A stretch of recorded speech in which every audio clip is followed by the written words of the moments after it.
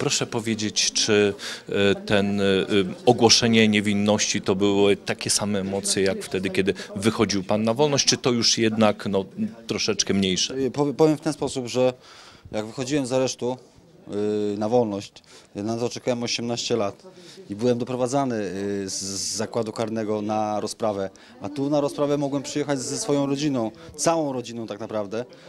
I powiem szczerze, że tamte emocje, kiedy y, wiedziałem, że sąd udziela mi y, warunku, czułem się całkowicie lepiej niż się czułem dzisiaj, tak?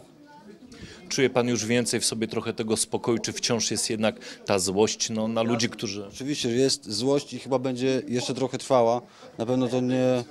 Mam bardzo dużo, tak naprawdę panu szczerze, że mam bardzo dużo y, żalu y, również do.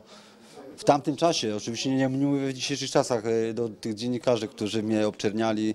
Y, Ja chciałem rozmawiać z dziennikarzami, tylko dziennikarze nie chcieli przyjechać do mnie do zakładu karnego i nie chcieli ze mną przeprowadzać żadnych wywiadów. Dlatego mam do nich bardzo ogromny żal, że przez te 18 lat zostałem obczerniany, pisano o, o mnie y, straszne rzeczy, które również ja starałem się uciekać przed więźniami, żeby po prostu mnie nie łamali, nie bili, po prostu nie, tortur, nie torturowali mnie, a dzisiaj po prostu jest to, co jest. Jestem osobą niewinną, a, a, a osoby dalej uprawiają tą funkcję, tak? To bicie, torturowanie, jak Pan mówi, to był stan permanentny, czy to tylko się zdarzało?